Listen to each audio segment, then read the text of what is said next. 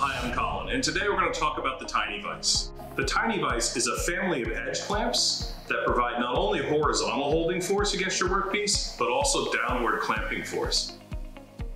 The unique clamping action of the Tiny Vise consists of a flathead screw and a thrust washer, working against the slotted body of the Tiny Vise to provide clamping stroke in addition to the horizontal and downward clamping force. For more information on the Tiny Vise family of products, technical information, and free CAD files, please follow the links in the description below.